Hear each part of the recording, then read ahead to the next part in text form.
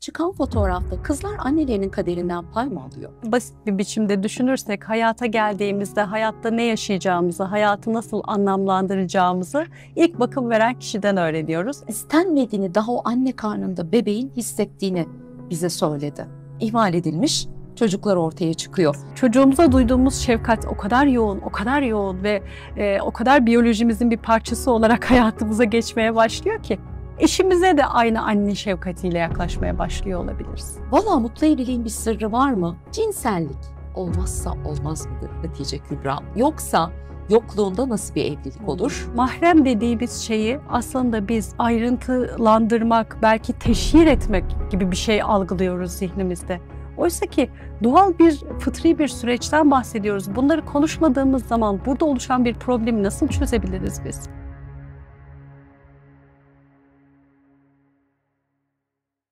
Efendim merhabalar. Ferda Yıldırım YouTube kanalında çok kıymetli bir konuğumuz var. Çok uzun zamandır kendisiyle bir röportaj yapmak istiyordum. Ne güzel yeni kitabı da çıktı. Röportaj yapmamıza vesile oldu. Hatice Kübra Tongar, Çeyiz, aile danışmanı ve yazar. Yani muazzam bir kitap Hatice Hanım. Öncelikle bunları duymak. Ya evet. öncelikle hoş geldiniz. Hoş bulduk. Neden muazzam olduğunu da şimdi anlatayım mı? Lütfen. Ee, insan okurken bir hikayede olmasa da bir diğerinde mutlaka kendini buluyor. Efendim iyileşme hikayeleri. Ama sadece iyileşme hikayeleri hani evet okudum bitti değil. Travmalar ve travmaların çözümlerine dair önerilerin olduğu bir kitap adı Çeyiz. Hayırlı uğurlu olsun. Çok teşekkür ederim. Okuru bol olsun. Biz de bugün biraz çeyizli konuşalım mı o zaman? Konuşalım. En çok kitapta ilgimi çeken yerlerden biri. Yıllardır annelerimizden duyarız. Tahtını yaptım ama bahtını yapamadım der. Ee, siz de diyorsunuz ki kitapta anneler bazen kederlerini de koyar kızlarının çeyizine. Çok merak ediyorum. Bunca e, kişiyle çalıştınız, dertlerini dinlediniz. Çıkan fotoğrafta kızlar annelerinin kaderinden pay mı alıyor? Kesinlikle alıyoruz. Çünkü hani basit bir biçimde düşünürsek hayata geldiğimizde hayatta ne yaşayacağımızı, hayatı nasıl anlamlandıracağımızı ilk bakım veren kişiden öğreniyoruz. E, genelde hani literatüri bilgiye bakarsak bu kişi de anne oluyor. Bu kadar aslında annenin üzerinde durmamızın sebebi de bu biyolojik bir parçasıyız da annemizin dünyaya ilk geldiğimiz, ilk can bulduğumuz anne karnı sürecinde sayarsak.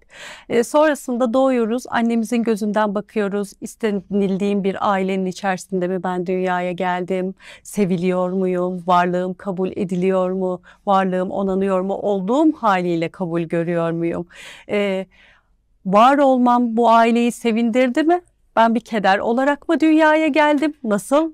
Bütün bunların ipuçlarını küçücük bebek halimizle böyle adeta emici bir sünger gibi öyle e, tasvir eder Maria Montessori. E, emiyoruz bütün ipuçlarını, hayata dair bütün duygu kırıntılarını en çok da annemizden emiyoruz. Bu emdiğimiz şeyleri de daha sonra bir inanca dönüştürüyoruz. Yani yetişkinlik yıllarımızda baktığımızda meli malı cümleleriyle altını çizdiğimiz şöyle olmalı. Hmm. İnsanlar şöyle olmalı bu durumlarda şöyle davranılmalı ya da ben şöyle biriyim, şunu hak ediyorum, şöyle yaşamalıyım gibi inançlarımız, derin inançlarımız ilk olarak işte bu anne etkisiyle oluşuyor. Biz de bunu aslında hani kitaba çeyiz adını vermemizin sebebi de buydu. Manevi çeyizler diyoruz aslında. Ebeveynlerimizden aldığımız manevi çeyizler. Dolayısıyla bu farkındalıkla hayata başlayabilse her aile maddi çeyizleri koyduğu gibi, tahtını yapıyor olduğu gibi aslında bahtını da yapıyor olduğunu fark edebilse bambaşka bir değişim olacak. Aslında anneler bahtını da yapabiliyor Evet. ama yapabilme gücünün farkında değil. Genelde o çeyize negatif şeyler konuluyor yanlış anlamadıysam eğer. Hepimizin çünkü yaşama dair tecrübeleri var. Yani benim kendime uygun bulduğum hikayeler vardı. Hatice Kübra Tongar'ın kendisinin bir hikayesi var mı bunların arasında? Söylesem mi acaba? ya böyle yazarların da e, hani bu soru çok sorulur. Hangi öyküde siz ne kadar varsınız sorusu falan. E, burada şimdi yaşımız daha genç, anne babamız hayatta. Dolayısıyla hani çok rahat bahsedebiliyor olmak çocukluk yaralarından onları da belki incitebileceği için belli noktalarda çok rahat yaptığımız bir şey değil. Zaten e, böyle edebiyat tarihine de baktığınızda işte Kafkalar gibi Dostoyevskiler gibi yazarların böyle işte dünya klasiklerini ortaya koymuş yazarların da ancak anne babalarının vefatından sonra onlara dair şeyleri çok daha yazdıklarını ve öykülerinde işlediklerini görüyoruz.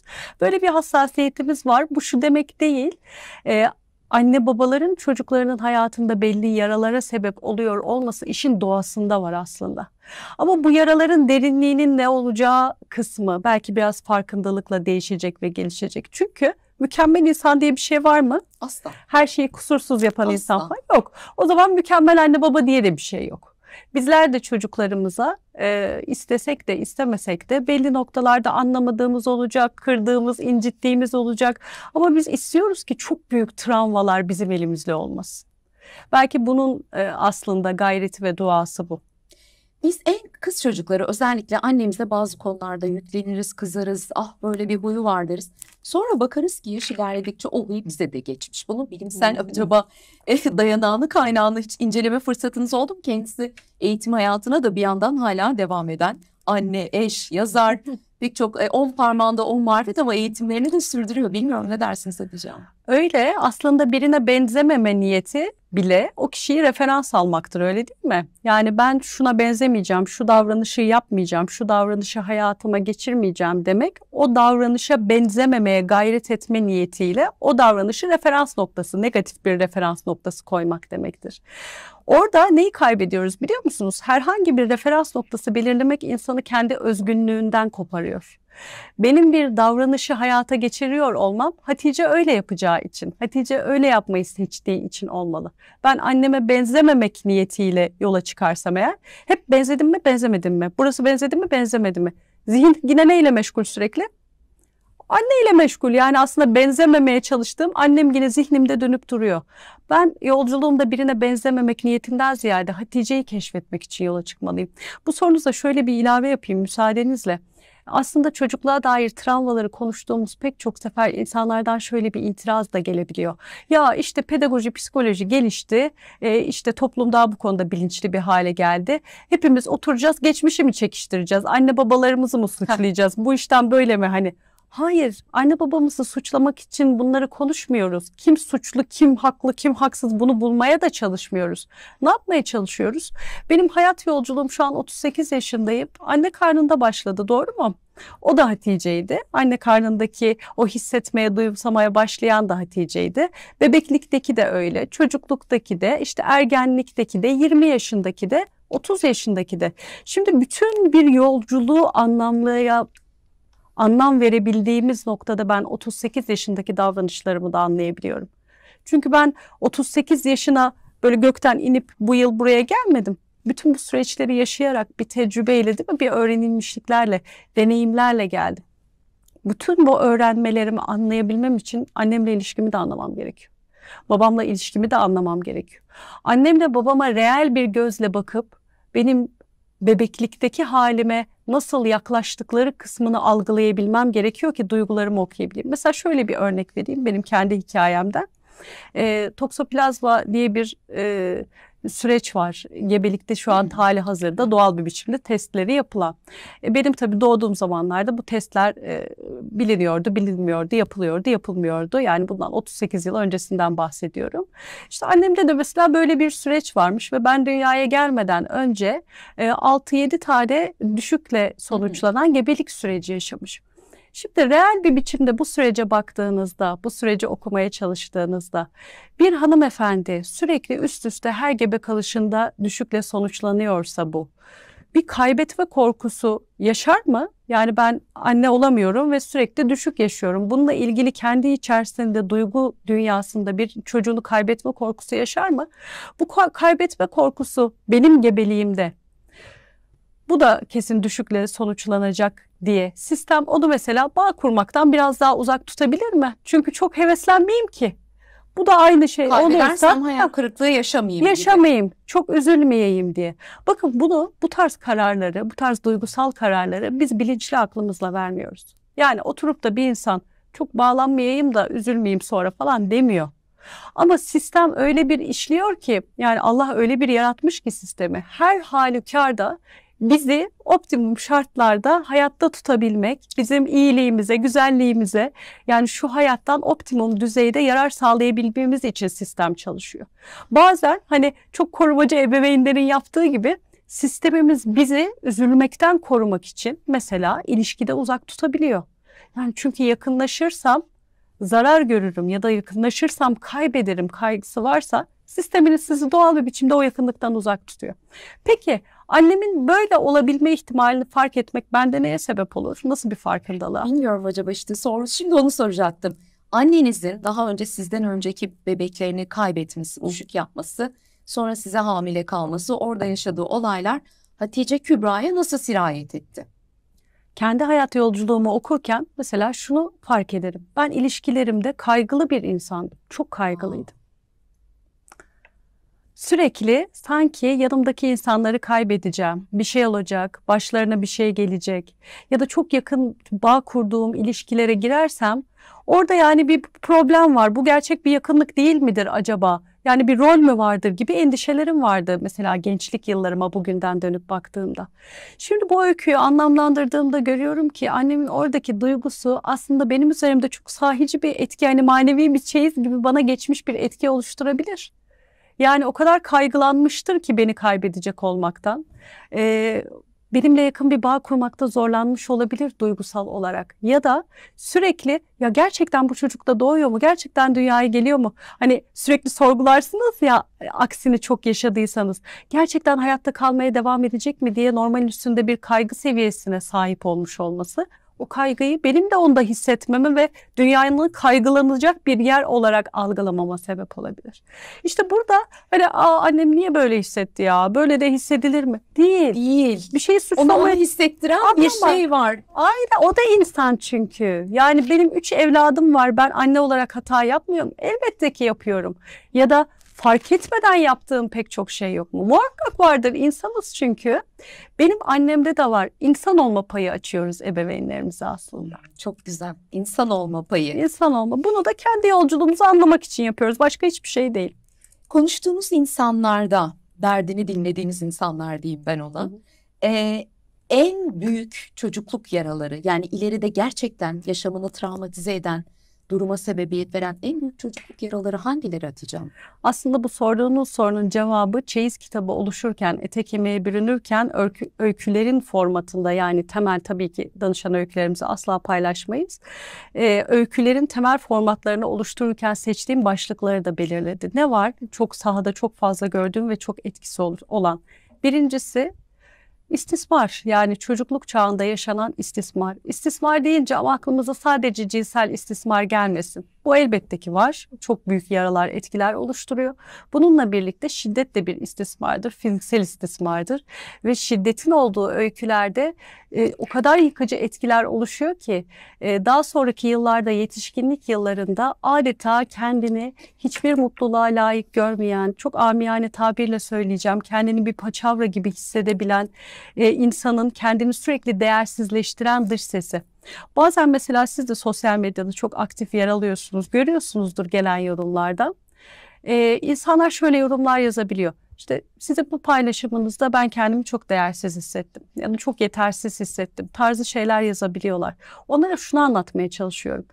Bir insanın dışarıdan size kendinizi değersiz ya da yetersiz hissettirme gücü yoktur. Sizde o duygu tanımlı değilse.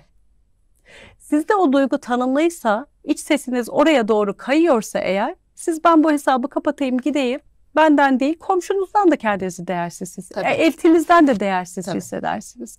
Siz şu an burada şunu fark ediyorsunuz bence. Benim bu paylaşımım ya da Ayşe'nin, Fatma'nın bir duruşu bir şeyi. Sizde bir yere dokunuyor. Oraya yoğunlaşmaya gayret. Ben kendimi niye burada değersiz hissettim? Yani bu bana yazılmış bir şey değil, benim adıma yazılmış bir şey değil. Ben niye böyle hissettim acaba? Çocukluğumda ne öğrendim de bu kadar değersiz hissettim? İşte bu soruyu sorduğumuz zaman genelde gördüğümüz şeylerden bir tanesi şiddet. Yani bu da fiziksel şiddet deyin ya da cinsel şiddet deyin. Yetişkinliğimizde yaşadığımız her duygunun ya da hikayemizi belirleyen her unsurun eee şeceresi çocukluk değil mi? Geçmişi. Büyük bölümü. Büyük bölümü. Yani yetişkinlikte de elbette travmalar yaşayabiliriz. Evet. Ama bu travmaların ne kadar kalıcı olup olmayacağı, bu travmaya psikolojik sistemimizin nasıl cevaplar verip vermeyeceğinin bilgisi dahi e tabii ki çocukluktaki o ilk hatıralardan, ilk öğrenmelerden oluşuyor. İşin aslında doğası da bu değil midir? Yani düşünün e, şiddet gösteren bir aile sisteminin içinde doğmuş olduğumuzu düşünelim. Yani hayatımın e, yetişkinliğe uzanan yılları boyunca öyle ya da böyle fiziksel şiddet gördüğünüzü düşünün. Bu davranış size ne öğretir? Yani Şiddet baktığınızda normalleştirir bir kere kişinin kafasında. bunu hak ettiğinizi Evet. bir yandan gösterir. Yani ben böyle bir muameleyi hak edecek bir insanım. Şiddet bir ceza ise eğer kime ceza verilir? Suçlulara ceza verilir değil mi? O zaman şunu da öğrenirim. İçimde derin bir suçluluk duygusu. Ben hata yapan suçlu bir insanım. Bunu da öğrenirim. Şimdi bu bilgiler yıllar içerisinde böyle sürekli sürekli sürekli tekrarlanarak kalıcı hale geldiğinde yıllar sonra mesela bakın çok başka şurada bir stüdyo ortamındayız. Diyelim şurada benim elim çarpsa şu bardak dökülse. Çok insani bir şey değil mi? Çarpabilir ve bardak dökülebilir. Ama çocukluğumda derin bir suçluluk şemam varsa kendimi normalde hissedeceğimin 10 katı fazla suçlu hissedebilirim. Yayının ahengini bozdum, elim çarptı da nasıl oldu? Ben nasıl böyle bir Halbuki şey yaptım? normal bir şey. Su bardağı devrildi. Bu kadar basit. Bu kadar basit. O yüzden işte çocukluk şemaları kalıcı. Sorduğunuz soruya geri dönecek olursam hani temel yetişkinliğe yaşanan sıkıntıları sormuştunuz. İstismar birinci başlık. İkinci başlıkta ben ihmali görüyorum ve bizim e, psikoterapilerde en sıkıntılı çalıştığımız alan budur aslında. Maden kastınız. İhmal anne babanın normalde çocuğuna yapması gerekiyorken yapmadığı davranışlar. Bu davranışlarla çok sıkıntılı çalışılır. Neden biliyor musunuz? Şimdi istismar davranışlarında diyelim şiddet. Var olduğunu biliyorsunuz zaten. Bir davranış var. Bu yıkıcı bir davranış. Bunu görüyorsunuz. Ama ihmalde olması gerekirken yok olan bir şeyi nerede bulacaksınız? Yok Neyle çünkü. anlatacaksınız? Yok. Tanımlayamazsınız. Bu yetişkinlik yıllarına nasıl bir hisle geliyor? Bir boşluk hissiyle geliyor. İhmal etkisinin çocukluktaki hali yetişkinliğe bir boşluk hissiyle geliyor. Kendinizi böyle hiç dolmayan boş bir kap gibi hissediyorsunuz. Mesela yetişkinlik yıllarında bu insanların davranışları neye yöneliyor? Gidiyor işte sürekli alışveriş yapmaya çalışıyor, sürekli bir şeyler almaya çalışıyor. En pahalı marka telefon çıktığında sıraya giriyor, hemen almam lazım. Ya niye senin için bu kadar? Hani işine yarıyorsa alırsın o ayrı ama böyle sıralara girmek o olmazsa olmaz. Ya da bazı böyle beyefendilerde daha çok gördüğüm için söyleyeceğim. Şey hali vardır. İyi bir e, arabası varsa mesela böyle anahtarını koymak falan Ha, mesela. ha, gösteriş. Göstermeye çalışmak bir şeyi. Evet, evet. Neyi doldurmaya çalışıyor? Bir şeyi doldurmaya Tabii, çalışıyor değil mi? Bir tabii. ihtiyaç bu. Neyi doldurmaya çalışıyorsun? Aslında baktığımızda işte çocukluktaki o ihmal. İhmal edilmiş. Ne ihmal ediliyor? Çok acı. Benim genelde gördüğüm yakın ilişki. Mesela Çeyiz kitabındaki öykülerden bir tanesi. Suskunlar Evi diye bir öykü var. Evet, notlarım arasında var. İlişkiye geçmiyor orada anne yani. Konuşmuyor, sohbet etmiyor, yakın ilişkiye geçmiyor. Ve burada oradaki karakterin anlattığı şey o kadar seanslarda gördüğümüz bir motif ki şunu söylüyor. Dayak var mı? Yok. Dövmüyor annem. Hakaret var mı? E, o da yok. E o zaman ben kendimi niye böyle anneme uzak hissediyorum? Bir çocuk bunun sebebini de bulamaz çünkü. Bir de kendini suçlu hissediyor. Ya bu kadın seni dövmüyor, sövmüyor ama niye ben böyle hissediyorum? Halbuki ilişki de kurmuyor. Tamam yakıcı bir şey yok ama bir ilişki de yok ortada. Dolayısıyla ikinci de ihmal.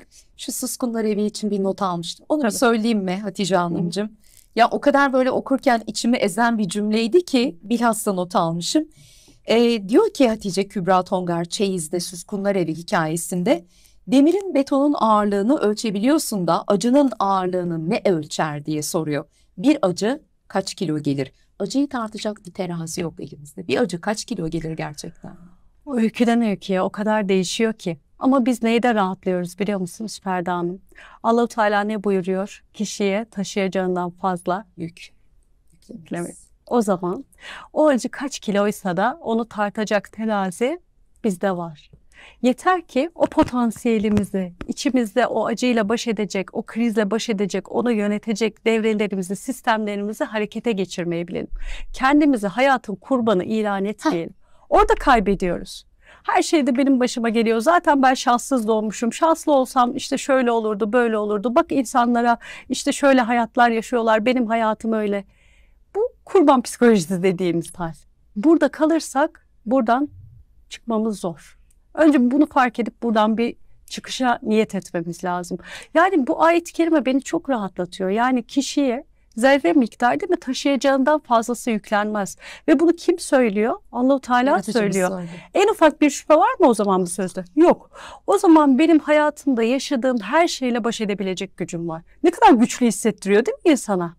Yani şu hisse gelebilsek bütün hastalıklarımızdan, travmalarımızdan, yaşadığımız acılardan aslında güçlenerek çıkmak dediğimiz noktaya da gelebileceğiz. Yani burası gerçekten çok önemli. Teşekkür ediyorum altını çizdiğiniz için. Son olarak şeyi de söyleyeyim. Ee, üç temel başlığa ayıralım. İstismar, ihmal dedik.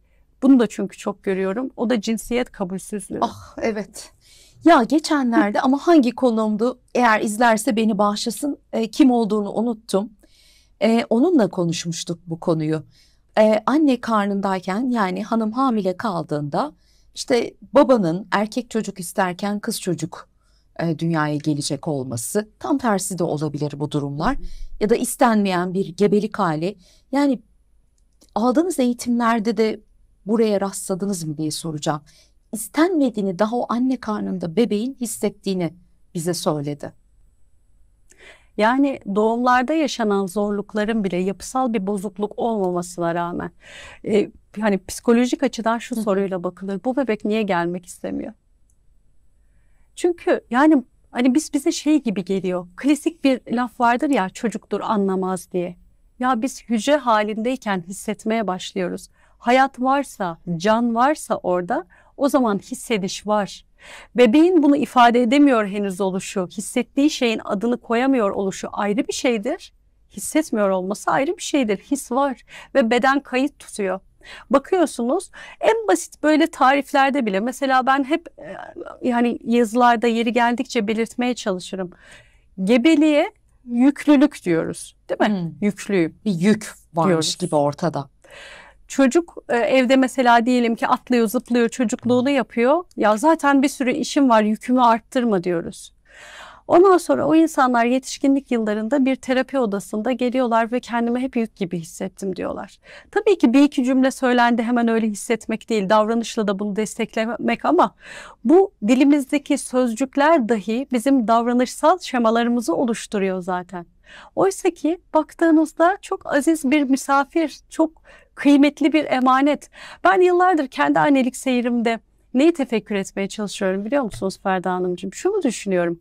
Şimdi kendi malınsa, şu benim malımsa ona istediğim gibi muamele etme hakkını buluyorum değil mi kendimde? İster atarım, kırarım. Ha bana deseniz ki niye şimdi bu bardağı attınız? Ben de diyebilirim ki e benim yani ben atmak istedim, attım diyebilirim. Hani yanlış bir hareket olur ama diyebilirim. Ama siz bunu bana emanet ettiyseniz ben normal kendi bardağıma davrandığımdan daha hassas davranmaya çalışırım. Niye? Emanet. Emanet. Emanet. Çünkü Ama biz sahibi zannediyoruz işte. Her şeyin olduğu, dünyanın da sahibi biziz. Evlatların da sahibi, o malın mülkün de sahibi kendimiz zannediyoruz. Boş, yalan, geçiş güzergahında olduğumuz bir mekan için yapıyoruz bunu. Evet. Şimdi emanetçilik böyle bir hassasiyet. Şöyle bir düşünelim. Bir arkadaşınız size bir şeyi emanet hmm. etmiş olsa yine hassas davranırsınız. Tabii. Ama arkadaşınızdır diyelim nazınız geçebilir. Şöyle yani bir şey olursa da ya kusura bakma istemeden oldu dersiniz ve sizi anlayacağını Mevki arttıkça emanetçilikteki hassasiyet artar. Bir belediye başkanı size bir şey emanet etse ve dese ki bir saat sonra Ferda bunu senden alacak. Gözüm gibi bakarım ya. E, Cumhurbaşkanımız emanet etse bir saat sonra daha bir hassas bakarsınız yani. Çünkü mevki arttıkça o hassasiyet de artar insanın içerisinde. Şimdi hep birlikte düşünelim. Çocukları bize emanet eden zatın en yüksek makam mevki. Ya. Sen bir belediye başkanından da insandır sonuçta kaçabilirsin, kandırabilirsin belki. Belki Cumhurbaşkanından da kaçabilirsin, kandırabilirsin diyelim. Ama Allahu Teala'dan nereye kaçacağız? Nereye saklanacağız? Neyi nasıl söyleyeceğiz? Şimdi çocuğa böyle baktığımız zaman emanetçilik hissiyle düşünün ki kız oldu, erkek oldu. Bekle, ben bekliyordum oldu, beklemiyordum oldu. Ne kadar sakil duruyor değil mi bu cümleler o zaman? Nasıl da düşüveriyor? Emanet zaten yahu. Senin değil ki. Senin değil yani. Belki buradan başlamak gerekiyor değişimi. Şimdi bir de şu vardır. Tabii bazı yerleri de gülümseyerek okudum kitapta. Hı. Diyorum ya hepimizin hayatından e, bir takım notlar düşürmüş kitaba. E, şimdiki çocuklar bunu çok söylediğimi anlamaz ama bizden e, bizimle aynı jenerasyon olanlar çok iyi anlar. E, efendim Misafirliğe gidersin, önceden tembihlenirsin. Sakın bir şey isteme, ev sahibi sana sorma. O parmak hep havadadır. Eve misafir gelir, annelerin biliyorsunuz kaşla gözle anlatma Hmm. özellikleri vardır. Böyle yaptığında kolonya getir, böyle yaptığında çay getir demektir. Yani kaşlar çatıldıysa muhtemelen bir şeyi eksik yaptım diye paniğe kapılırsınız. Bir kere evlerimizde rahat değildik ki evlerin hiç kullanamadığımız odaları vardı. Evet. Sadece misafir gelince açılan salonlar. Üzeri böyle kalın kalın örtülerle örtülür falan. Yani o evde kendini bir kere zaten en baştan değersiz hissetmiyor musunuz?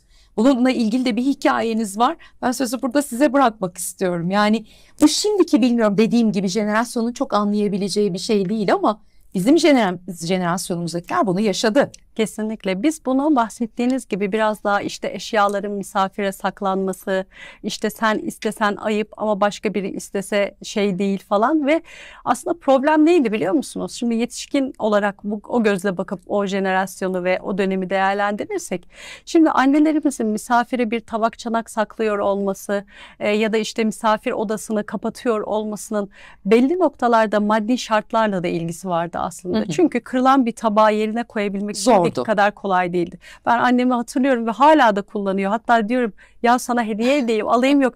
O işte e, kuponla biriktirilen alınan ya. tabaklar kullanılıyordu Ya. ve bunun için e, gerçekten ciddi işte beklemesi gerekiyordu. Şeydi Bir hani şeye ulaşmak zordu. zordu. Maddi şartlar bugünkü gibi bizim yaşadığımız gibi değildi.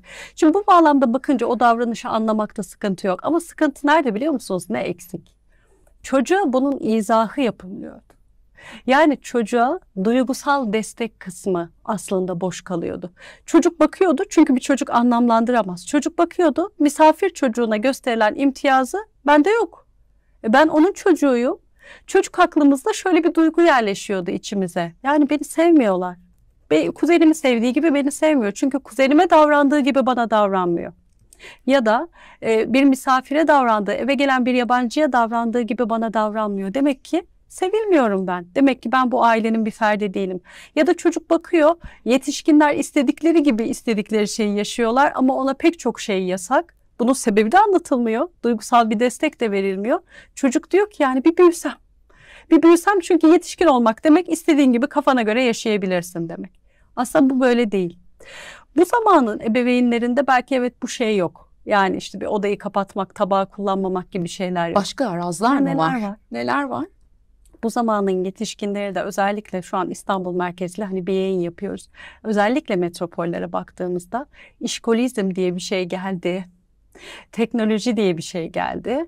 Teknolojinin gelmesi bizim 7-24 aslında çalışıyor olmamızı da getirdi değil mi? Mesai bitmiyor. Çünkü mailler sürekli gelebiliyor.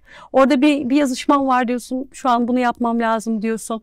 İşlerin mesaileri ya da işlerin e, eve taştığı ev yükleri yani evde devam eden süreçleri çok daha uzun devam ediyor.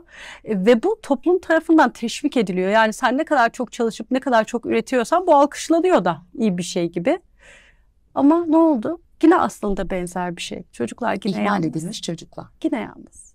Başka türlü yalnızlar. Ama yine yalnız. Şimdi biz bir 20-30 yıl sonra öyküler yazsak Allah nasip etse belki bu teknoloji çağ çocuğunun yalnızlığını bu bağlamda yazmaya başlayacağız. Ben inanın şuna dikkat etmek gerektiğini düşünüyorum. Bir anne babanın hani bazen diyoruz ya "E, telefonu elinizden bırakın çocuğunuzla vakit geçirin falan. Sırf metal olarak telefonu düşünmemiz de değil. Zihnimiz başka bir yerdeyse bununla ilgili yapılmış çalışmalar var biliyor musunuz? İngiltere'de yapılmış mesela beni çok etkilemişti. Çocuklara anne sütü veriyorken yani bir anne ile bebeğinin bedenen de iç içe olduğu bir Hı. an değil mi? Ten tenesiniz yani. Daha yakın olabileceğiniz bir an yok. Anne sütü veriyorken anne davranışları incelenmiş. Hani ne kadarı o sırada gerçekten bebeğiyle ilgileniyor, ne kadarı işte kitap okumak, televizyon izlemek ya da telefona bakmak gibi farklı bir şey yapıyor. Onlara bakılmış. Sonra da bebeklerin stres seviyeleri ölçülmüş.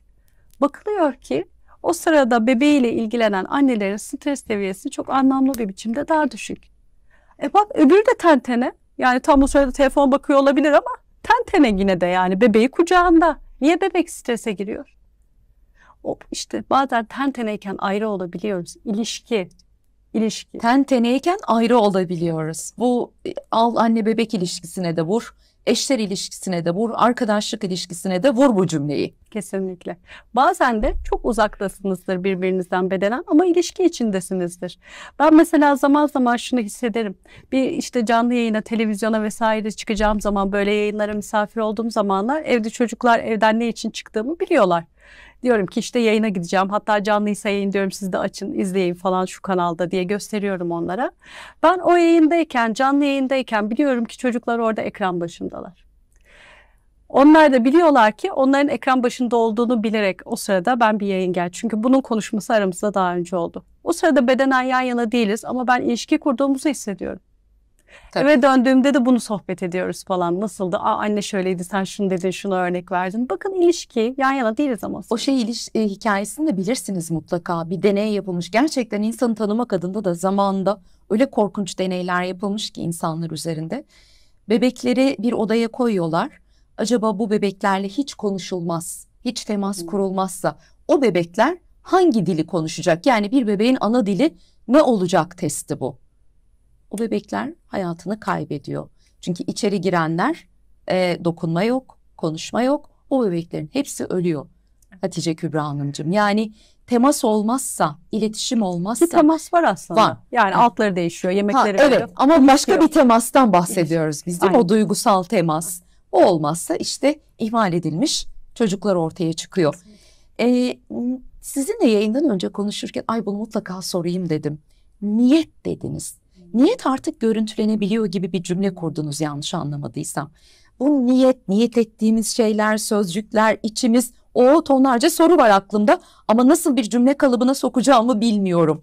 Ee, aldığınız eğitimden yola çıkarak söylediğiniz bir şey miydi bu? Nörobilim doktorası Hı hı, yapıyorum evet. ben. Artık e, beyni görüntülüyoruz ve görebiliyoruz ki pek çok şeyin beyinde bir karşılığı var. Yani beyinle ilgili yapılan çalışmalar geldiğimiz noktada elbette ki daha çok çok çok az. Yani Allahu Teala öyle bir bilgisayar yaratmış ki keşfet keşfet bitmiyor ve ne kadarını keşfedebiliriz. Hani insanlık tarihi ne kadarına yetecek onu da e, hep e, alanda çalışan bilim insanları söylüyorlar daha çok çok azı diye. Biz şunu görüyoruz. Beyin plastisitesi denen bir şey var. Bu beynin aslında insan beyninin en önemli özelliği belki de nedir? Uyum sağlama becerisi. Biz değil mi her Her şartta koşulda, her şartı bir şekilde çünkü beyin direkt bütün yapısal olarak o değişikliği görüyorsunuz. Yani değişiyor hücresel bağlamda, değişiyor o nöronal ateşleme sistemleri değişiyor ve şart neyse ona uyum sağlar hale geliyor. Biz buna beyin plastisitesi diyoruz.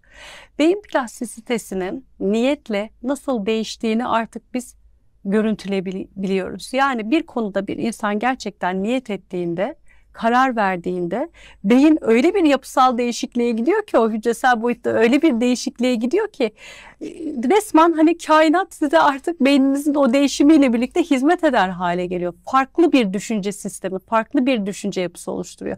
Sizinle yayın öncesinde konuşurken çok güzel bir örnek verdik. Ben her zaman söylerim bunu. tam somut bir örnek verin Aynen diyecektim. öyle. Gerçekten çok güzel bir örnek. Aynen öyle. Oruçla diyeti ayıran şey nedir? Niyettir.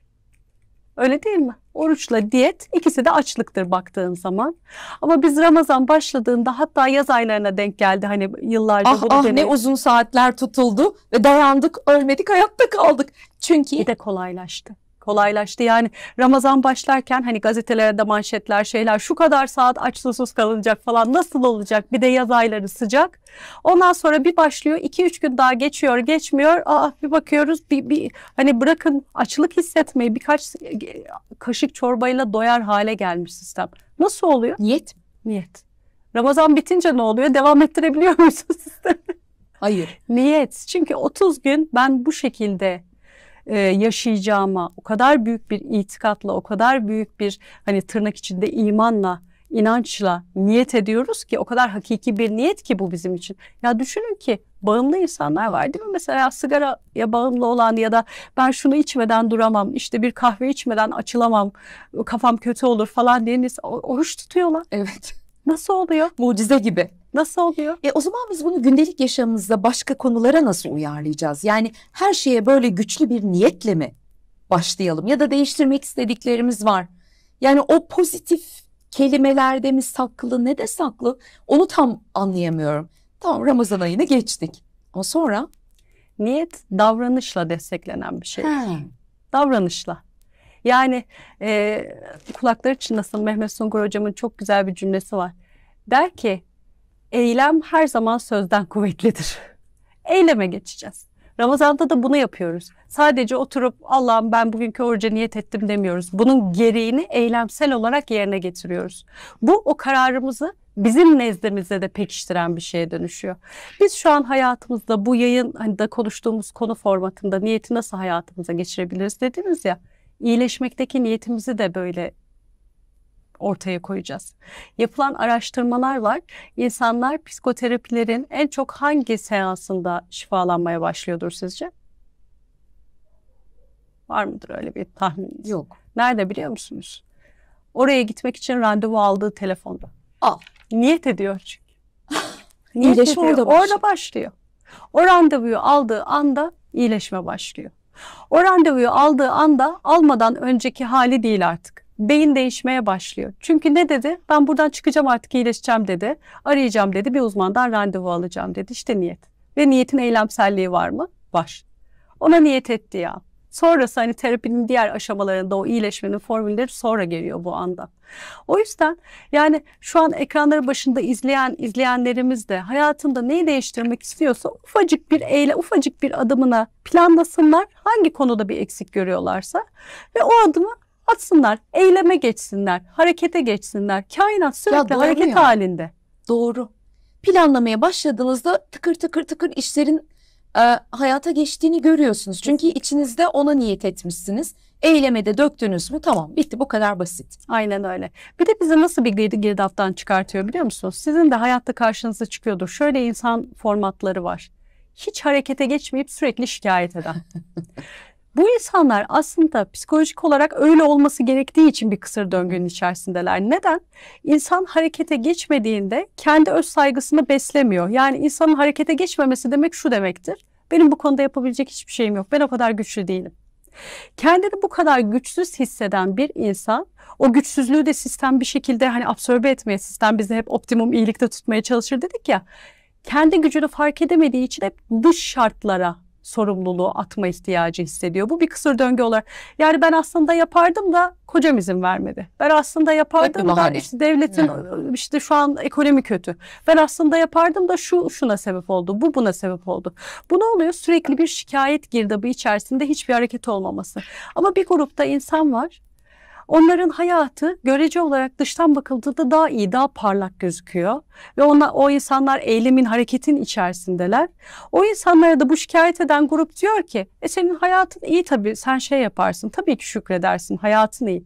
Oysa ki hayat iyi olduğu için onlar hareketli değiller. Onlar harekette oldukları için hayatları iyi.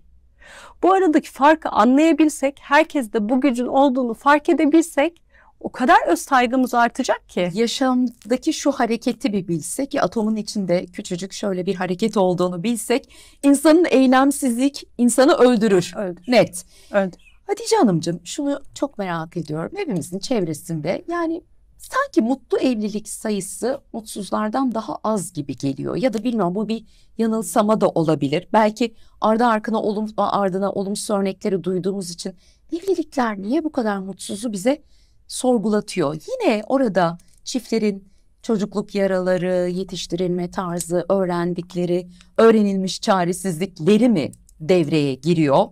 Aa, Valla mutlu evliliğin bir sırrı var mı? Ya da bu sorunun bir cevabı var mı bilmiyorum. Sizin dinlediğiniz hikayelerde nasıl bir şey çıkıyor ortaya? Önce bir genel sorayım sonra detaylandıracağım. Tamam. Burada o zaman bu sorunuza üç ayrı cevap vereyim müsaadenizle.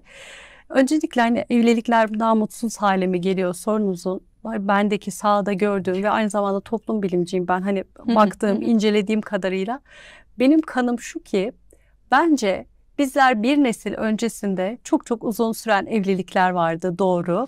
Çünkü o zamanın kafa yapısı biraz hani istisnalar vardır. farklıydı. Şöyleydi hani gelinliğinle girersin kefeninle çıkarsın. Artık evlendin mi Ha- hatta bazı kültürlerde yani Türkiye'nin bazı coğrafyalarında bazı bölgelerinde e, şey yoktur yani Bo- boşanma bizde Yok. yoktur derler mesela Aha. o şekilde tanımlarlar. Bu bir önceki nesilde bizim annelerimizin zamanında daha koyu bir şekilde daha katı bir şekilde uygulanıyordu. İnsanlar 40-50 yıllık evlilerdi doğru fakat o yuvaların içine bakmış olsak hepsi çok mu mutluydu? Hayır. ya da hepsine gerçekten evlilik diyebilir miydik? Hani evliliğin gerçek manasını düşünürsek. Çünkü ben şöyle çok fazla aile biliyorum o jenerasyon açısından. Ayrı ayrı odalarında televizyonları şeyleri hani bir otel e, şeyi gibi. Tamam aynı evde yaşıyorlar ama hani ilişkiye vurgu yaptık ya bu yayında. Hı hı. İlişki yok. O da İlişki yok. arkadaşı gibi. Ha, ev arkadaşı gibi yani neredeyse öyle bir hal, bir ilişki yok. Şimdi buna evlilik mi diyoruz? Ya da böyle bir evlilikte durmak mı daha iyidir? Yoksa ya biz herhalde bunu yani olmuyor biz hani uyumumuz iyi değil. Ayrılalım, farklı yuvalar kuralım demek mi daha iyidir? Hep bunlar tartışmaya açık konular. Bence benim şahsi fikrim bu zamanın gençleri, bu zamanın insanları sorguluyor. Ezbere yaşamak istemiyor. O yüzden bir evliliğin içerisinde mesela ben hanımefendilerde bunu görüyorum. Güçlü bir tavır olarak görüyorum. Şimdi çocukları olmuş. Baba hiçbir babalığa dair diyelim hiçbir sorumluluk almıyor. Hiç harekete geçmiyor. Hanımefendi ne yaparsa yapsın tek başına. E o zaman o hanımefendi şunu sorgulamaya başlıyor. Ya bir dakika sen eş değilsen bana, baba değilsen bir de ben kendim de çalışıyorum, para da kazan. Ben niye bu evlilikteyim o zaman? Bu evlilikte olmam için sebebim ne? Bunu sorgulamaya başlıyor. Ben inanın şu istatistiklerin araştırılması gerektiğini düşünüyorum. Bunun cevabı henüz bende yok. Olması için çalışıyorum. Ee, ama insanlar bu bağlamda da düşünmeye, kapı aralamak için e, bunu söylemek istiyorum. Hani hep diyoruz ya boşanma oranları arttı zamanımızda diye. Doğrudur. Bu istatistiksel bir veri. Fakat boşanan insanların ne yaptığını bizim araştırmamız lazım. Ha, sonra ne oldu? Sonra ne oluyor? Before after gibi. Aynen. Boşanan insanlar sonra yeni bir yuva kuruyorlarsa eğer e o zaman bunda bir sorun yok ki. O evliliğe iyi gitmemiş. Değil mi? Başka bir evlilik yapmış. Ama boşanıyor bir daha hiç evlenmiyor. Evlenmeye tövbe ediyorsa ha bunu bir şey olarak düşünelim. Çünkü aile kurumu çok kıymetli bir şey elbette. Değil mi? Bir anneden bir babadan müteşekkil çocukların böyle bir ortamda büyümesinin tabii ki daha sağlıklı olduğunu hepimiz biliyoruz. Sonra ne olduğu kısmı önemli. Burası boş. O yüzden burası da bir araştırılsın. Değil mi? Devlet hani bu araştırmaları da yapsın. Ondan sonra biz bakalım diyelim ki aa ne oluyormuş bu Boşandıktan sonra görelim. ne yapıyor insanlar? Valla çok güzel bir araştırma konusu. Kesinlikle öyle. Hani birinci bunu söyleyeyim. İkincisi hani sordunuz ya danışanlarınızdan yola çıkarak baktığınızda evliliğe dair neler görüyorsunuz diye. Şimdi ben her zaman şunu söylüyorum. Pedagojik anlamda konuşurken de bunu söylüyorum. Yani çocuklarla olan ilişkimize baktığımızda biz bir geçiş nesliyiz. Köprü nesli gibi adlandırabiliriz belki. Ebeveynlikte de evlilikte de kendi atalarımızdan, kendi anne babalarımızdan aldığımız güçlü taraflar var. Ve fakat zamanın şartlarına, zamanın ruhuna göre güncellemeye çalıştığımız bir taraf da var. O yüzden bu konuların biraz acemisiyiz hala. Yani öyle mi yapalım, böyle mi yapalım? Anneler mesela çok sorar onu. Ya Hatice Hanım hep mi yani çocuk bir şey diyor ne diyeceğimden emin olamıyorum. Annem böyle değildi, doğal bir şekilde yapıyordu. Ben acaba pedagojik midir, değil midir? Çok haklısınız diyorum. Çünkü görmediğimiz bir şey yapmaya çalışıyoruz. Bu çığır açmak aslına bakarsanız. Yeni bir çığır açmaya çalışıyoruz. Ne olacak? İnşallah bizden sonraki nesil biz doğru bir köprü olursak hem atalarından gelenin güçlü yanlarını alacaklar, bir sorgulayıp güçlü yanlarını alacaklar. Hem de bize zarar verenleri yani ya bunlar da olmasın dediğimiz şeyleri daha iyi bir forma getirecekler. İnşallah. Öyle Siz ümit varsınız gelecek konusunda. Bunun en güzel örneğini ben şeyde görüyorum. Mesela e, siz de denk geliyorsunuzdur. Bazen yazarlar şöyle bir örnek vererek şöyle bir şey söylerler. Derler ki insanlar işte sosyal medyada eşiyle görüntülerini paylaşıyor işte ama eşi olmayan var, vefat etmiş olan var. Hani bundan üzülebilecek olanlar var. Oysa ki bizim ecdat nasılmış? İşte o, o dönemde işte bir savaşta çok hani savaş döneminde baktığınızda e, çok fazla işte yetimler var diye ortamda çünkü savaş ortamı kendi çocuklarını kucağında sevmezmiş. Ya da çok fazla dul kalmış hanımefendi olabileceği için kendi eşiyle diyelim el ele kol kola yürümezmiş. göstermezmiş. Göstermezmiş. Mesela bunu örnek veriyorlar. Ben de diyorum ki savaş şartlarında doğru bir yaklaşım olabilir. Ama şu an Ama değil. şu an. Yani her şeyi kendi zamanına, kendi şartları içerisinde değerlendirmek kısmı. Hazreti Ali'nin şahane bir sözü var. Üzerine pedagoji kitabı yazılır. Üzerine böyle yıllar boyu tefekkür edilebilir. Şu söz diyor ki çocuklarınızı kendi zamanınızın şartlarına göre değil, onların içine doğduğu zamanın şartlarına göre Of. yetiştirin. Üstüne Bir daha söyleyin. çocuklarınızı kendi zamanınızın şartlarına göre değil, onların içine doğduğu zamanın şartlarına göre yetiştirin. Buyurun. E demek ki evliliğe bakış açımızda bu zamanın şartları, bu zamanın ruhu, bu zamanın karı koca ilişkisi. Biz geleneksel gelen hani o köklerimizden öğrendiğimiz veriyle kadın evin işlerini yapar tırnak içinde. Evin işlerini kadın yapar. Mantığıyla bakarsak hata ederiz. Neden? E, bu zamanda çalışan kadın çok fazla. Çalışıyor olmasına rağmen bütün işi de o yapmaya çalıştığı zaman ne oluyor kadınlar? Tükeniyor. Tükeniyor. Yani bu zaman benim anneannemin yaşadığı ve sabahtan akşama o evi çiçek çiçek ilmek ilmek dokumaya çalıştığı zaman değil ki artık. Tabii. Değil. Tabii. O zaman zamanın şartına göre, ailenin gerçeklerine göre bir şey yapmak gerekiyor. Bana mesela ben seminere gittiğimde üç tane bahsettiğim gibi evladım var. İşte Türkiye'nin şehirlerine gidiyoruz konferanslar için. Eşim evde çocuklarla ilgileniyor. Gittiğimiz yerde bana soruyorlar çocuklar nerede? Evde diyorum babalarıyla birlikte. Aa eşinizle mi kaldı çocuklar? Babaları. Sanki bir yabancıya emanet etmişsiniz gibi bir tepki. Evet çünkü niye çocuğa ya anne bakar anne yoksa başka bir kadın bakar. Çocuk bakımı tırnak içerisinde Kadına kadınlara- ait bir şeymiş gibi. kadına ait bir şeymiş. Ya. Ama bir dakika bizim aile yaşantımız içerisinde ben de çalışan bir e, anne olduğum için benim olmadığım zaman çocuğa birincil bakım veren kişi de anne yoksa babanın olması gayet doğal bir şey değil mi? İşte bakın zamanın şartları zamanın ruhu. E tabii cinsellik de önemli bir konu danışanlarınız arasında diye tahmin ediyorum ama tabu da. Yani size yine yayından önce söylediğim gibi bir konuğumla ben konuşamadım bile. Ki kadın Soru- doğumcuydu diyor. Evet kadın doğumcu ve jinekolog olmasına soru üretemedim çünkü ürktüğümüz yanaklarımızın al al olduğu e, aman deyip konuşmaktan imtina ettiğimiz konular. Bizim konuşamadığımız şeyler muhtemelen evliliklerde de çiftler arasında dile getirilmeyenlere dönüyor. Cinsellik olmazsa olmaz mıdır Hatice Kübra? Yoksa yokluğunda nasıl bir evlilik olur? E, biraz tespiti zor durumlar mıdır bilmiyorum. Çok basitçe düşünelim. Çok basitçe. Gerçek basittedir derler hep. Kesinlikle öyledir. Çok basitçe birlikte mantık yürütelim.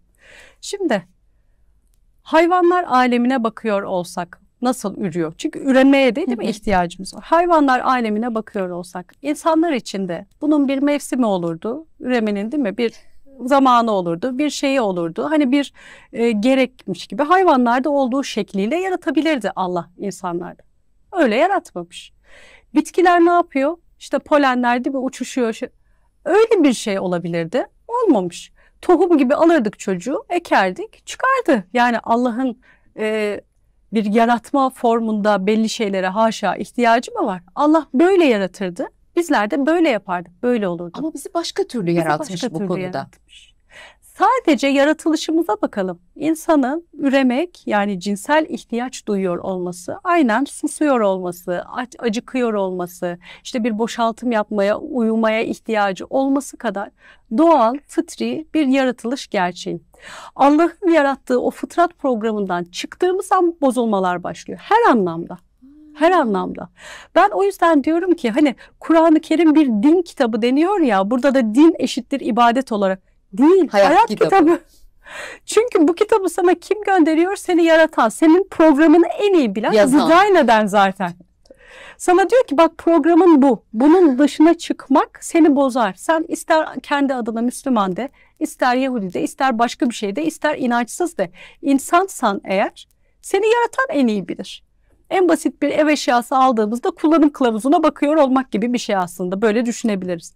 Şimdi sistemi böyle değerlendirdiğinizde cinsel hayatı da. allah Teala bu hayatın içerisine de koymuş. Bir lezzet koymuş ki yönelelim diye. Şu suda da lezzet var. Eğer ben susadığımda içtiğim su böyle bana eza cefa veren bir şey olsaydı, ilaç içiyor gibi içseydim ne kadar su içmek isterdim. Oysa ki değil mi içtiğimde nasıl bir lezzet alıyorum. Yemek yediğimde nasıl bir lezzet ve bunlar düşünün bağımlılığa bile dönüşebiliyor. Öyle bir lezzet koymuş içine. Lezzeti kime koymuş? Sırf erkeğe mi koymuş? Hayır. Kadına da. Değil mi? Demek ki bu cinsel ilişki dediğim süreç kadın içinde, erkek içinde bir lezzet alma mekanizması taşıyor. Şimdi bunu niye, Niye özellikle? ayıp ama bizde hep bu konu? Niye tabu?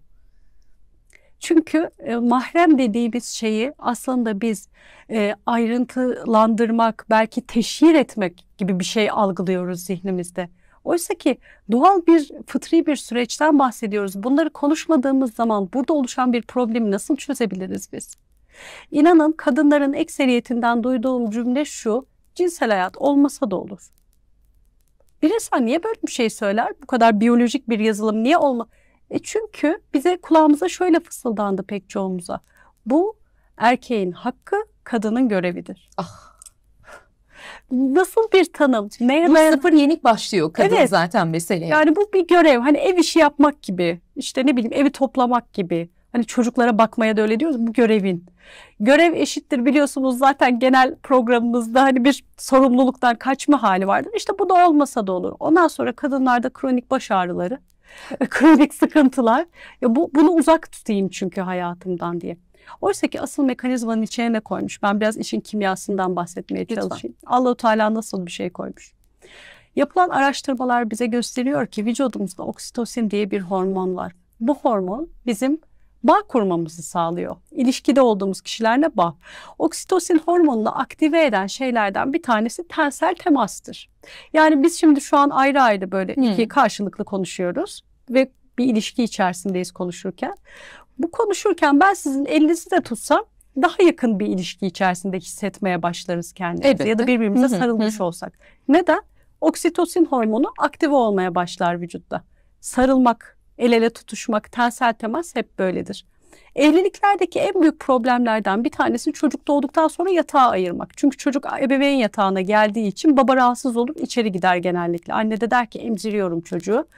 Oysa ki gece uyurken dahi ellerimizin, ayaklarımızın birbirine değdiği o tensel temasın sağlandığı her an biz ilişkimizde hormonu bağlanıyoruz. salgılıyoruz Hormonal aslında en olarak. ufak bir dokunuşta bile. Ama Aynen. yatağa ayırdığınızda, eşten ayrı uyuduğunuzda Bunu kaçırmış oluyorsunuz bu fırsatı ve araya uzaklık mesafe girmeye başlıyor. Gelelim cinsel ilişkiye. Oksitosin hormonunun en yüksek oranda salgılandığı an ne zaman biliyor musunuz? Anne bebeğini emzirirken. Vücutta bir oksitosin patlaması yaşanıyor adeta anne bebeği de emzirirken. O yüzden hep biz deriz ki emzirme davranışı bebekle bağ kurmak için çok önemli davranış. Tek değildir ama en önemli davranışlardan bir tanesidir deriz. İkinci oksitosin patlaması da cinsel ilişki sırasında yaşanıyor. Yani bizim cinsel hayatımız ne kadar düzenli, ne kadar yerinde, ne kadar olması gerektiği gibi ise biz eşimizle ilişkimizde o kadar daha kuvvetli bir hale gelmiş oluyoruz. Ama bunu yapabilmek için ne yapmak gerekiyor biliyor musunuz? Bu oksitosinden faydalanabilmek için. Hem kadın için hem erkek için cinselliği bir silah olarak, bir tehdit aracı olarak ya da sadece birinin hakkıymış, diğerinin sorumluluğuymuş gibi olaraktan çıkartıp aynen biz duygusal dilde nasıl anlamaya ve anlaşılmaya yönelik bir ilişki inşa etmeliyiz sağlıklı olan bu değil mi konuşurken bile bedenler konuşurken de anlamaya ve anlaşılmaya yönelik bir ilişki inşa etmemiz gerekiyor. ama şunu da çok duyuyorum. Eee, Çocuk doğduktan sonra kadından uzaklaşan erkekler de var. Burada sorumluluk e, erkeğin mi kadının mı tam olarak kestiremiyorum ama erkekler o kadını anne formatına koyuyor. Belki bilmiyorum o esnada kendi annesi aklına geliyor ve uzaklaşıyor. Yani kadının artık onun için bir sevgililik hali kalmamış gibi. Doğru mu tanımlıyorum ya da size de bu yönde gelen şikayetler oldu. Burada kim suçlu Yani erkekler mi sizce öyle tanımlıyor, toplum mu böyle bir şey öğretiyor? bilmiyorum. Şimdi toplumun kadına şöyle dediği bir cümle yok mu? Sen artık annesin. Annesi. Hal ve hareketlerine dikkat et. Yani sanki e, öncesinde yaptığın şeyler e, mübahtı olabilirdi. Hani diyelim ki tırnak içinde yanlış bir davranıştan bahsediyorsak eğer. Ama annesin artık ona göre davran. Bu, bu derken ne demek istiyoruz? Yani bunların gerçekten araştırılmaya muhtaç konular olduğunu düşünüyorum. Bazen ezbere bir sürü şey söylüyoruz ama belli şemalar inşa ediyor bu hı. sözler. Ne anlamda söylediğimizin belki farkında değiliz. Oysa ki kadın annedir elbette ki rollerinden biridir ama sadece anne midir? Kadın anne olunca eş olmayı, kadın olmayı bedensel olarak artık bırakıyor mu? Kadınların bu bırakıyor halini belki kilo olarak falan da görüyoruz ya da bakımsızlık olarak da değil mi görmeye başlıyoruz? Bakın beden her zaman psikolojiye yansıtır. Beden asla unutmaz. Beden kayıt tutar. Ee, bunları zaten konuşmuştuk bir yerde. Aynen öyle. Aynen öyle. Dolayısıyla burada belki kadınların şu yaptığı olabilir. Sık görüyoruz çünkü. Bu şema ile birlikte, bu toplumsal öğretiyle birlikte biz anne olduktan sonra şehvetin yerine şefkat koymaya başlıyor olabiliriz. Şehvet şefkat dengesi şaşıyor. Yani çocuğumuza duyduğumuz şefkat o kadar yoğun, o kadar yoğun ve e, o kadar biyolojimizin bir parçası olarak hayatımıza geçmeye başlıyor ki eşimize de aynı anne şefkatiyle yaklaşmaya başlıyor olabiliriz. Hmm. Eş olarak yaklaşmayı unutuyor olabiliriz. Peki şu, şu konularda ne düşünüyorsunuz? Mesela ben şahsi fikrimi söyleyeyim. Bazıları bana kızabilir. Ama ben bir uzmanın görüşünü merak ediyorum. Bazı mahrem anlara eşler tanıklık etmeli mi? Mesela doğum onlardan biri. Ben, ben benim çocuğum yok ama hamile kalsaydım doğum esnasında eşimin orada bulunmasını istemezdim. Bu benim fikrim. E, bu, bu konuda hani dahil olan erkekler de var yok da ya da evin içindeyiz. En doğal, en rahat halimizle mi davranmalıyız? Yoksa evin kendi içinde de o mahremiyet Bilmiyorum orada bağlar nasıl kuruluyor? Doğrusu var mı? Yoksa herkesin doğrusu kendine mi bu konularda? Yani herkesin doğrusu kendine diyebileceğimiz bir alan olabilir. Ama e, ben de şurada sınır çizmeyi anlamlı buluyorum açıkçası. Evimiz elbette ki bizim en kendimiz evet. olduğumuz yer olmalı. Evet. Ama en kendimiz olmaktan neyi anladığımıza da burada bakmalıyız. Yani hani yani çok özür dileyerek söylüyorum. Biri dedi ki geçenlerde yani eşler birbirinin yanında gaz çıkarabilir dedi. İşte geğirebilir dedi falan.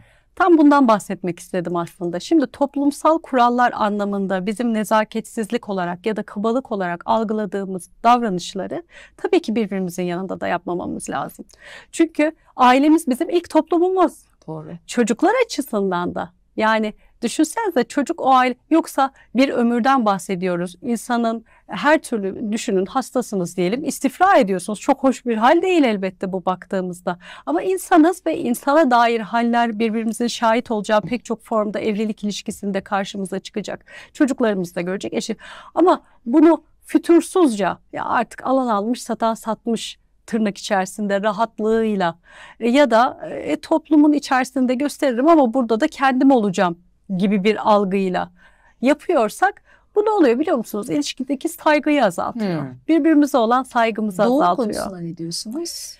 Şimdi doğum konusu özel bir an aslında ama tam tersini düşünüyorum açıkçası mi? burada sizden. Tabii ki herkesin kendi doğrusu e, olması gerektiğine kesinlikle katılmakla birlikte e, ben kadına ve erkek için anne ve baba olma rolünü yaşadıkları an olduğu için ikisine özel bir an olduğunu düşünüyorum. Ama belki şunu söyleyebilirim. Hani daha önce doğum yapmamış kişiler e, oradaki ortamı bilemiyor olabilirler.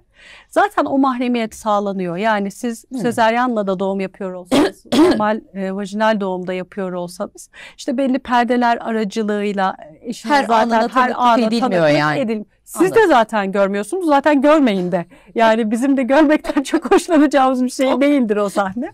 Orada doktor ve gerekli hani ekip o sahneyle oluyor.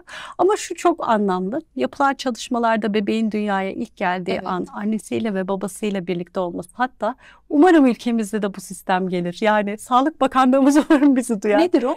Ne biliyor musunuz? Çocuğun ilk anları, dünyaya geldiği ilk an psikolojik hani gelişim açısından hatıralara ilk kazınan şey. Ne açıdan?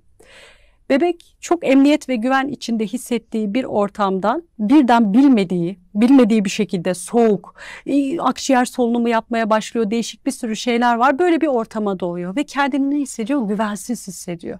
Çünkü bir şeyler oldu ve ne oluyor? Ve ağlıyor. Şimdi bizim standart sağlık prosedürümüzde genellikle ne yapılıyor? İlk anneye bir veriliyor ama evet. sonrasında o bebek alınıp işte ağzına burnuna bir şeyler sokulup o ilk Oysa ki aslında doğal doğum seyrinde tavsiye edilen yani bilimsel literatür açısından tavsiye edilen şey şu. Sezeryan doğmuş olsa, vajinal doğum doğmuş olsa, anne babanın olduğu bir ortamda herhangi bir sağlık komplikasyonu yoksa elbette, bebekle o ilk anların baş başa geçirilmesi, bebeğin yıkanmak, giydirilmek ya da başka şeyler için annenin yanından hiç ayrılmaması, ilk sütü alıp o ilk sakinleşmeyi, bu ilk temel güven duygusunun oluştuğu an aslında. Bebek çünkü ne oldu? Korktu, kendini güvensiz hissetti, bilmediği bir ortam. Anne babası onu sarıp sarmıyordu. Hatta İngiltere'deki bazı hastanelerde şu yapılıyormuş. O kadar hoşuma gitti ki. Diyelim ki anne narkoz altında ve bebeğine ilk o teması sağlayabilecek durumda değil sağlık açısından. Hemen babaların e, gerekli steril o, e, şartlar oluşturulmuş ortama alınıp üstündeki bütün kıyafetleri çıkartarak babanın yani üst bedeninin üst bölgesinde çıplak tenine bebeği de çıplak olarak yaslayıp bebeği bağlayarak babanın vücut sıcaklığında o ilk teması yine annenin ya da babanın anne uygun değil. Birinden birinin o alması gerekiyor bebeğin yani. O güveni sağlaması. Yani o yüzden keşke istiyorum ki hastanelerimizde bebekleri götürmesinler hemen. Yıkamasınlar. Ayırmayın bebekleri annesinden. Öyle. O ilk birkaç saat çok kıymetli çünkü. Doğru doğru. Geçenlerde o kadar güldüm ki Hatice Hanımcığım. Ee, şöyle bir e, video hazırlanmış. Ee, işte selamlama şekli milletlere göre işte İspanyol hola işte e, Fransız bonjour falan böyle birkaç ülkeyi sıralamışlar. Türkiye. Aa sen kilo mu aldın demişler. Böyle bir hikayesi de var kitapta Çeyiz'de. O yüzden bunu anlatma gereği duydum. Biz niye böyleyiz? Biz niye bir hemen e, yakınımızla görüştüğümüzde daha ilk anda ağzımızdan çıkan kelime ya da cümle bu oluyor? Kolektivist toplumların e, biraz temel problemlerinden bir tanesi bu. Bireysel sınırlarımıza saygı duymayı zor öğreniyoruz. Şimdi kolektivist bir toplum olmanın iyi yanları ne? Biz asla işte batıda olduğu gibi bu bireyci toplumlarda olduğu gibi komşumuzun vefatını ancak işte evinden bir koku çıkmaya başladığında falan öğrenmeyiz. Biz değil mi? Bütün apartmandan haberdarızdır. Bütün mahalleden hatta şimdi bu internet vesilesiyle Tabii, onu paylaşmış kameralarıyız bence. Herkes her şeyden iç içe geçmiş ilişkiler şeklinde haberdar. Bu güzel bir şey. Bu evet. ilişki sağlıyor, ilişki getiriyor. Fakat bu ilişki ağını kurarken bireysel sınırları da biraz ihmal etmemize sebep oluyor. Şimdi karşımdaki kişinin kilo alıp almamış olması, kıyafetinin ona yakışıp yakışmamış olması, eşiyle ilişkisinde bir şeyi tercih etmiş ya da etmemiş olması ya da çocuğuyla ilişkisinde bana fikrimi sormadıkça benim alanım değildir. Yani bunu böyle görürsem eğer hani çok güzel bir söz var kimin sözü de bilmiyorum ama diyor ki bazı konularda bana ne demeyi öğrenmezsen karşındaki sana günü gelir sana ne der. Yani bazen o sınırları inşa etme kısmında aktif hareket etmemiz gerekiyor. İşte bu da e, bence biraz daha empati kabiliyetimizi ve duygusal okuryazarlığımızı geliştikçe daha iyi bir noktaya gidecek diye düşünüyorum. Çeyiz hikayesini okuyun mutlaka kitabın adıyla müsemma olan bölüm. Hı. İçindeki utancı bastırmak isteyen insan ayıplar diyor. Bence çok güzel bir cümle her şeyi de özetliyor. Ee, içindeki utancı bastırmak isteyen insan ayıplar diyor. Bu da bir iffet hikayesi benim en sevdiğim hikayelerden biri. Ee, sona yaklaşırken soğan hikayesiyle tanımlayalım, e, tamamlayalım istiyorum. O hikayede de diyor ki Hatice Kübra Tongar, e, soğan gibi kabuklarını kat kat kat soyman gerekir öze ulaşmak için. Siz anlatın lütfen izleyicilerimize. Sormuştunuz daha öncesinde o zaman cevap vereyim. Orada gerçekten Hatice Kübra Tongar diyor soğan benim hikayem. Aa. Ben eski bir panik atak hastasıyım. Flash. Soğan hikayesi Hatice Kübra Tongar'ın evet. hikayesi. Evet. evet. Eski bir panik atak hastasıyım. Panik ataktan o kadar çok şey öğrendim ki. Ya. O yüzden bazen insanlar bana diyorlar ki hayatınızdaki hangi zaman hani şimdi böyle tırnak içinde bazı tekniklerden bahseden arkadaşlar oluyor ya işte bilinçaltımızı sileceğiz, temizliğini yapacağız evet. falan. Hani zaten bilimsel olarak böyle bir şey çok mümkün değil ama bunun yanı sıra istemezdik ki zaten. Yani ben bugünkü halime bütün o sancılı süreçleri yaşayarak geldim. Değişmesin. O değişirse ben de değişirim çünkü. Bu halim e, memnun olduğum bir halse eğer işte o acıları çeke çeke bir şeyler öğrene öğrene geliyorsun.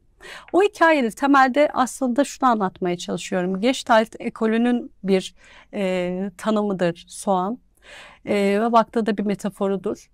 Ve baktığında e, insanı katman katman, katman katman e, kendi adeta öz dediğimiz, bizim belki kadim geleneğimizde fıtrat dediğimiz, o ilk yaratıldığımız, var olduğumuz halimizin üstüne bazen yaralardan kabuklar geliyor, katlar geliyor, bir şey geliyor. Bazen yanlış hayatımızda işlevsizliğe sebep olan e, öğrenmelerimizden, şemalarımızdan bir şeyler geliyor. İşte kabuklar birikiyor, birikiyor. En sonunda bir bakıyoruz, kendimizi kabuk sanmaya başlamışız onların kabuk olduğunu unutmuşuz. O kadar özdeşleşmişiz ki kendimizin, kendi özümüzün sesine sağır kalmışız. Kendi özünü duymayı unutunca insan oraya kulaklarını uzun süre tıkayınca ne başlıyor? Hastalıklar başlıyor. Beden konuşmaya başlıyor. Evet. Artık diyor ki yani duy beni. Tabii hastalıklar duy. derler zaten. Bedenin seninle konuşma hali. Evet. Error veriyor o sırada sana. Diyor ki bir sorun var çöz. Aynen öyle Psikolojik hastalıklarda bunu daha yakinen zaten görüyoruz ama biyolojik dediğimiz yani biyolojik kökeni olan hastalıklarda bile bir psikolojik altyapıya baktığınız zaman derin öğrenmelerin ve yaraların illaki olduğunu görüyorsunuz. Burada da işte panik atak özelinde gidersek, şimdi yıllar sonra hem uzmanlığımda geldiğim noktadan baktığımda hem artık o günleri geçirmiş bir Hatice olarak, o kabukları soymuş bir Hatice olarak o günleri okuduğumda görüyorum ki panik atakta o nefes alamayan benim bedenim değilmiş yani ruhummuş aslında. Yani ruh o kadar sancı çekmiş ki artık diyor soy kabukları soy diye bir hastalık olarak karşına çıkmış. Çünkü hastalığı görmezden gelemiyorsun. Bir hastalık olduğunda ben bununla ilgili bir şey yapmalıyım artık dediğin nokta geliyor. Benim de iyileşme hikayemde o yüzden o panik atağın bana çok öğrettiği, Nasıl çok anlattığı şey. Yani bu belki pek çok panik atak hastasına ilham olabilir. Hı. Çok yakınlarımda e, bu dertle e, kıvrananlar var, çözemiyorlar. Evet. Çözemeyen insan da çok. Evet, doğru söylüyorsun. Yani bize tuhaf gelen bir takım şeyler bir panik atak hastası için tuhaf değil. Yani o anda öleceğini hissetme, düşünme. Ya ben bakıyorum niye böyle bir şey yapıyor? Şu an paniğe kapılacak bir durum yok ki diyorum. Ama onun sağlıksız olan ruhu diyeyim. Orada bir işaret veriyor. Kesinlikle. Birkaç Onun- böyle bir şey söylerseniz belki ilham olabilir. Evet, onun elinde değil ki o yaşadığı şey. Değil doğru. Bir de düşünün bunun 17 yıl öncesinde e, o zamanlar işte doktora gittiğinizde çünkü kalp krizi geçiriyorum diye gidiyorsunuz. EKG'ler falan çekiliyor ve diyor ki sizin hiçbir şey yok gayet sağlıklısınız psikolojik. Ve bunun 17 yıl öncesinde size birisi psikolojik bu dediği zaman halk tarafından anlaşılan şey şuydu. Şımarıklık yapıyorsun. Uyduruyorsun. Ben de öyle düşünüyordum biliyor musunuz? yani sen Panik atağı şımarıklık hastalığı olarak değerlendiriyordum. Utanıyorum şu an böyle düşünmekten. Oysa ki bir insan ister mi? Ben günde 10 ila 12 atak geçiriyordum. Yani düşünebiliyor musunuz? Günde 12 kere kalp krizi geçirdiğinizi hissettiğinizi Ya, düşünün ya. mesela. Ve panik atak olduğu yerde de kalmıyor ki. Sürekli atak geçireceğim kaygısıyla siz dışarı çıkamamaya başlıyorsunuz. İşte agorafobi eşlik ediyor buna. Ya da e, asansör gibi kapalı şeylere binememeye başlıyorsunuz. Çünkü ben burada kalırsam yani ve atak geçirirsem ne olurum? Hani zaten sınırlı bir alan olduğu için klostrofobi eşlik edebiliyor ve pek çok şey. Ee, hayat kaliteniz, işlevselliğiniz düşmeye e, yani düşebileceği yere kadar düşüyor. Hani yaşayan bilir denilen bir şey gerçekten. Ee, hasılı benim iyileşme yolculuğum şu oldu. Bu hastalığın bana ne anlatmak istediği kısmına gerçekten odaklanmaya çalıştım. Yani bu insanlara lütfen hikaye gibi gelmesin. Neden biliyor musunuz? Bütün psikoterapilerin temel e, aslında merkeze koydukları şey insanın içgörüsünü, hayatına dair farkındalığını geliştirmektir. Bunu yapmaya çalışır zaten psikoterapiler. Hayatını reel bir biçimde görmeni sağlamaya çalışırlar. İlla ki bir terapiste mi gitmek gerekiyor dersi izleyenlerimiz? Hayır. Şunu, şuradan başlayabilirsiniz. Yani baktığınız güç yetiremiyorsunuz, destek almak istiyorsunuz o zaman gidin. Şuradan başlayabilirsiniz. Benim öyküde de yazdığım aslında terapötik bir e, yöntemdir de aslında. Kendinizi gün içerisinde hiç kimse sizi bölmeyecek şekilde yalnız kalabileceğiniz anlar için. Seher vakti bunun için şahane oluyor. O benim anım ve hala yıllardır da o anı bırakmadım. Böyle varsa evinizde bir sallanan sandalye olabilir. Kendinizle olduğunuz, iç sesinizi duyduğunuz, kendi duygularınızı akışına bıraktığınız anlar açın. Günümüzde öyle bir şeye geldik ki duygu aslında şöyle bir şeydir. Gökyüzündeki bulutlar gibi düşünelim. Gelir, ziyaret eder size, akar ve gider. Siz o duyguyu bastırmaya izin yani bastırırsanız, yaşamaya, üzerinizden akmaya izin vermezseniz işte hastalanmaya başlarsınız. Siz sadece hiçbir şey yapmadan, hiçbir eylem yapmadan, sessizce düşüncelerinizi duymaya, duygularınızı duymaya ve bunlara izin vermeye başladığınızda büyük oranda iyileşmeye başlıyorsunuz. Ve Ferda Hanım eğer izleyenlerimiz bunu yaparlarsa neyi görecekler biliyor musunuz? Hiç hatırlamadıkları hatıraları belirlemeye başlayacak. Bazen imgeler, görüntüler halinde, bazen bir duygu durumu halinde, e, bazen işte bir ağlama hissi halinde. Bir şeyler çıkmaya başlayacak oradan. Çünkü içinize şunu demiş olacaksınız. Bu senin için buradayım.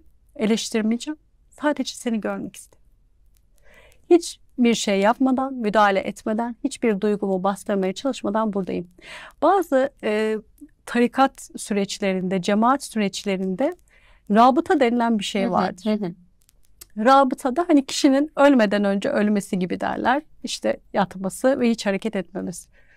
Terapötik açıdan bakarsanız çok sağlıklı bir şeydir. Duyguya izin vermektir çünkü. Oradaki düşünceye izin. Çünkü sen kendini ölü gibi, ölmüş gibi düşünüyorsun ya hiçbir hareket yok. Kaçamazsın. Duygunu da bastırmıyorsun. Baktığın zaman oradasın ve duygunun akmasına izin veriyorsun. Sadece inanın bu hale oluşturabilsek hayatımızda iyileşme büyük oranda başlıyor zaten. Muazzam. Ya bu bölüm çok önemli. İnşallah e, bunu dinleyip uygulayıp insanlar da bu problemlerini çözerler. Bir de mutluluk istiyorsak e, hayatımızda tanıklar lazım. Hmm. Bir de tanık hikayesi var. Çok mu spoiler veriyorum bilmiyorum kitapla ilgili. Güzel spoiler. tamam. Yani çeyizde o tanık hikayesini de okuyun. Bunu da nasıl özetleyebilirim? Hani yaşlı insanlar eşlerini kaybettiğinde depresyona giriyor ya. Hmm. Hatice Kübra Tongar diyor ki niye depresyona giriyorlar? Hayatın tanığı gidiyor. Artık bir şey anlatacak biri yok, paylaşacak biri yok. Ama biz ille de hayatımızdaki Allah korusun herkes yakınlarına uzun ömürler versin. Birini kaybetmeye gerek yok. Bunu pek çok şeye uyarlayabiliriz. Hepimizin derdini anlatacağı bir yakın arkadaşı olmalı. İşte eşiyle o özel alanı, o iletişim dilini bulmalı. Ben anladım ki o hikayede tanığımız yoksa bizim için hayatın anlamı da yok. Psikolojik bir eziyettir insana. Çünkü ben çok güzel diyelim bir kafe keşfettim. Ay şahane de tatlıları var. Hemen bir de arayıp söylemek istersiniz. Tabii. Ya işte Taksim'de bir yer var ki. Gidelim bir gün birlikte falan diye. Arkadaşlar bir araya geldiklerinde bunu yaparlar aslında hayatını anlatıyorken. Birbirimizi tanık tutuyoruz ona. Sosyal medyada bir noktada bu işlevi görüyor. Hani günlük storyler atıyoruz değil mi? Ya da bugün bunu yaptım diye. Altındaki temel e, psikolojik motivasyonlardan biri tanık aslında. Hani genelde çok zahiren bakıldığında şey beğeni almak, ilgi görmek falan gibi böyle açıklanır. Buralarda vardır belki evet bazı öyküler için. Ama temel motivasyonlarından biri şahit tutmak insanları. Tanıklarımızı arttırmak istiyoruz. Ben burayla ilgili şöyle bir toparlayayım müsaadenizle. Son zamanlarda da çok üstüne bunun düşü- düşünüyorum. Çocukluğumuzdan beri Allah'ın sürekli bizi görüyor olmasını yani sürekli hayatımızın gerçek tanığı Tabii. oluyor olmasını bize hep şu telkinle verdiler. Sakın kötü bir şey yapma bak Allah görüyor. Hani bir ters bir şey yapma bak Allah görüyor. Kimse olmasa da Allah seni görüyor. Allah'ın görmesi eşittir bir yakalama hissiyle yani yakalanmış olmak hissiyle birlikte bir suçluluk duygusu gibi negatif bir duygu gibi eşleştirildi ekseriyetle. Ne yanlış bir Allah öğretisi hep cezalandıran bir Allah. Cezalandıran Allah seni böyle yakalamak için bekliyor yani. Hazır Oysa ki bekliyor gibi. Rahman ve Rahim olan Allah Oysa ki bakın şimdi bu tanık psikolojisine gelelim. Aslında Allahu Teala'nın bizi görmesini çocuklarımıza en başından itibaren şöyle anlatsak. Diyelim çocuğunuz geçen gün yaşadığım şeyi anlatayım. Okulda çok böyle kendince çocuğum bir şey yapmış ve öğretmeni o yaptığı şeyi fark etmemiş. O kadar morali bozulmuş ki yani görmedi. Hani benim yaptığımı görmedi. Çünkü orada bir ilgi bekliyor. Orada tanık bekliyor aslında yaptığı şeye ve onu fark etmedi. Çocuğumuza desek ki yavrucuğum biliyor musun? Allah her an senin yanında. Allah senin tanığın. seni bir gören var. Seni bir gören var. Bak hiç annen görmeyebilir, yedi gelir hepimiz insanız. Baban görmeyebilir, kardeşin, arkadaşların fark, öğretmenin fark etmeyebilir ama seni her daim bir gören var. Allah senin bütün yaptıklarının tanığı. Böyle versek mesela. O zaman tanık olma halinin o psikolojik sancısını hisseder miyiz Ve acaba? de hayat ne kadar anlamlı hale gelir. Yalnız hisseder miyiz acaba? Asla. kendimizi? Asla.